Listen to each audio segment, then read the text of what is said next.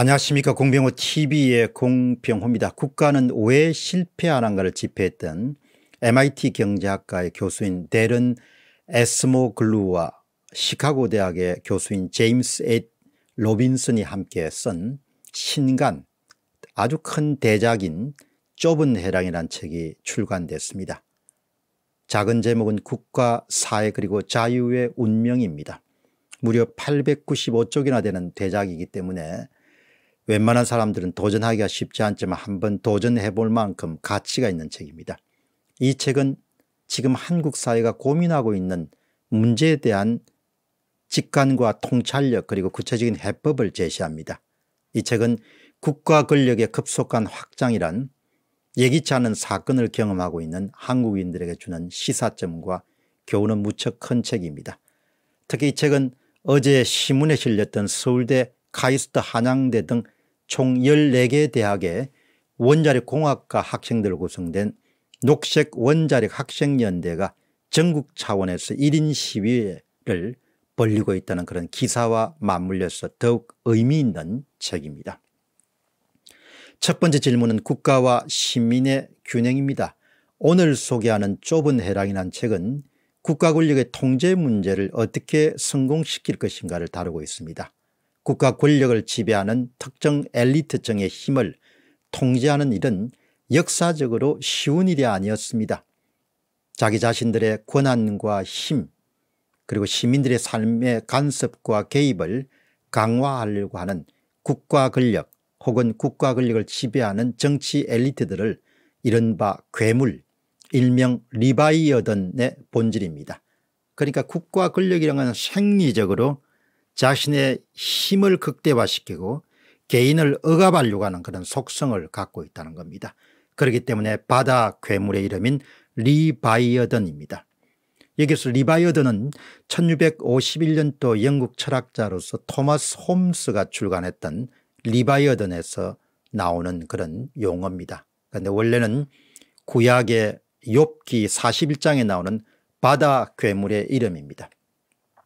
인간의 힘을 압도하는 강한 동물로서 강력한 국가 권력을 뜻합니다. 국가의 역량을 극대화하고 번영된 국가로 가는 길은 국가와 사회 사이의 힘의 균형을 유지하는 가에 달려 있습니다. 지배 엘리트와 일반 시민들 사이에 어떻게 힘이 적절히 균형을 유지하는가에 따라서 한 국가의 번영과 개인의 그런 자유의 획득이 바로 연결되게 됩니다. 국가가 그러니까 국가를 이끌고 있는 지배 엘리트정이 지나치게 강력해지고 큰 힘을 갖게 되면 일반 시민들은 독재적 리바이어던을 상대하던 큰 부담을 갖게 됩니다. 반대로 정부가 너무 허약해지면 무정부 상태와 같은 부재적 리바이어던을 경험하게 됩니다. 여러분 여기서 아주 중요한 두 가지 개념입니다. 독재적 리바이어던과 부재적 리바이어던 이 사이에 아주 좁은 회랑으로 바로 번영의 길이 놓여 있는 겁니다. 즉 국가와 시민이 함께 달리면서 어느 한쪽도 우위를 차지 않는 국가와 사회가 유지될 때 그 국가는 번영의 길로 개인은 자유를 누릴 수가 있습니다. 첫 번째 질문은 레드퀸 효과입니다. 국가와 시민이 어떻게 균형을 유지할 것인가 이것을 아주 잘 비유한 그런 소설이 있습니다. 잘 알려진 루이스 캐럴의 거울나라의 앨리스에 묘사된 레드퀸 효과가 바로 그 비유입니다. 레드킨 효과입니다. 이 책에서 앨리스는 레드퀸을 만나서 경주를 합니다. 그런데 앨리스는 한 번도 자신이 경험해 보지 못한 독특한 경험을 합니다. 아무리 열심히 달려도 주의가 달라지지 않는 것이었습니다. 그래서 앨리스가 레드퀸에게 이야기합니다. 주위에 나무나 다른 것들이 자리를 전혀 바뀌지 않는 것 같습니다. 아, 그러니 아무리 빨리 달려도 아무것도 지나칠 수가 없습니다. 꼭 그대로입니다. 이렇게 불평을 털어놓자 또 앨리스의 그 특별한 경험과 레드킹과의 대화는 소설에 이렇게 정리되어 있습니다. 앨리스는 깜짝 놀라서 주변을 둘러봤다. 왜 우리가 쭉 이 나무 아래 있었던 것 같죠? 모든 게 그대로네. 레드킨이 말했다. 그럴 수밖에 없습니다. 앨리스가 이렇게 반문합니다. 글쎄요 우리나라에서는 다릅니다. 빨리 뛰면 당연히 주변의 환경도 달라질 수밖에 없습니다. 이렇게 이야기하니까 그러자 우리가 달린 것처럼 그렇게 오래 빨리 달리면 보통 다른 곳에 가 있게 되거든요. 이게 정상적인 경우죠.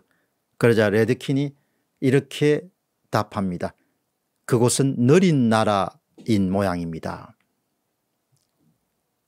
이 그리고 나서 이제 마지막에 에리스와 레드킨이 함께 하는 이야기인데 이 레드킨의 이야기 중에 가장 마지막 분이 악군이에요. 자 보시기 바랍니다. 여기서도 같은 자리에 계속 있으려면 이 빠른 나라에서도 같은 자리에 계속 있으려면 내가 할 수 있는 한 최대한 힘껏 달려야 됩니다. 이 레드킨입니다.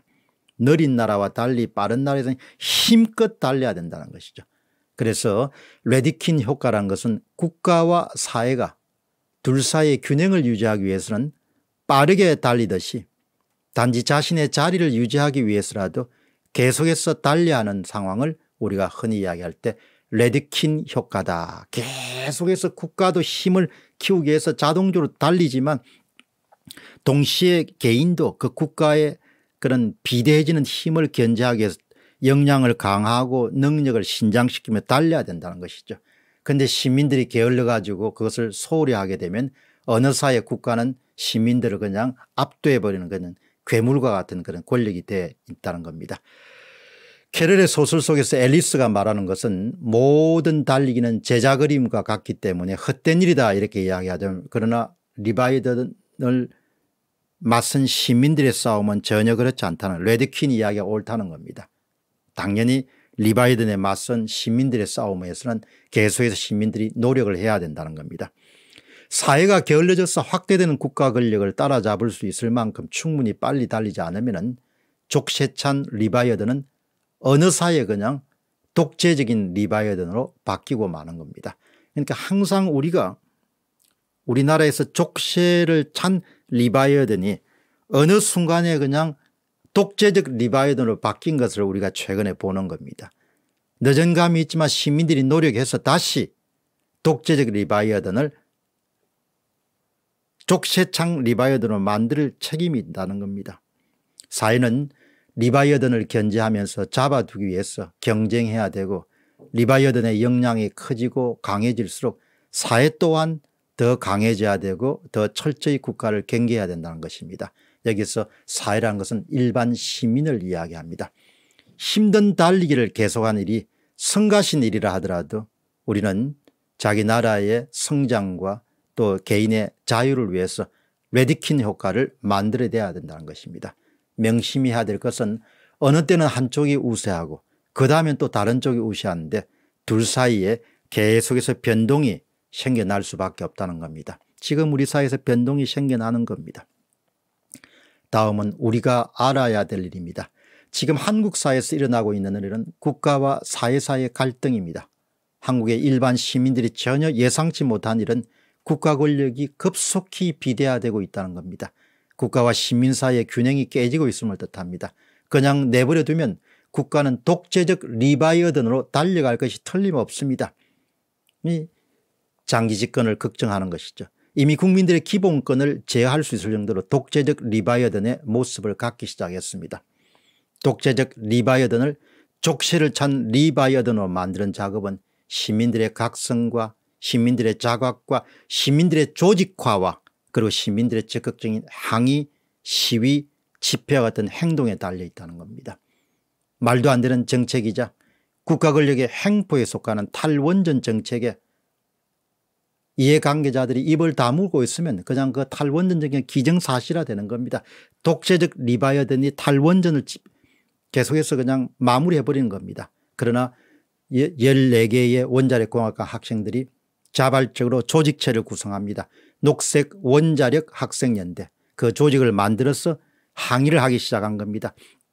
그 조직을 중심으로 교수, 연구원, 원전 산업 종사자 시민단체들을 다 규합해 가지고 100명 단위의 조를 짜서 전국에 릴레이 1인 시위를 시작한 겁니다. 특정 사안에 대해서 시민들이 조직화를 통해서 항의하고 시위하고 집회를 개최하는 것이 바로 국가와 사회 사이의 균형을 회복하는 그런 일입니다. 바로 이런 메시지를 인류 역사에서 수많은 사례를 동원해 가지고 무려 900페이지에 가까운 대작으로 엮은 책이 바로 대련 에스모 글로의 좁은 해랑입니다.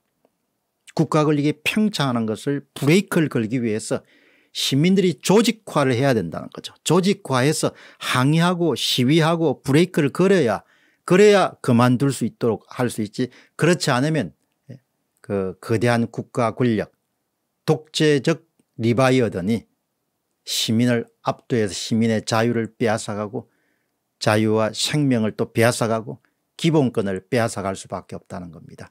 아주 현재 한국 사회가 처하고 있는 상황에 시위적절한 그런 경고와 메시지를 던지는 그런 대작입니다. 공병호 TV의 공병호였습니다. 감사합니다.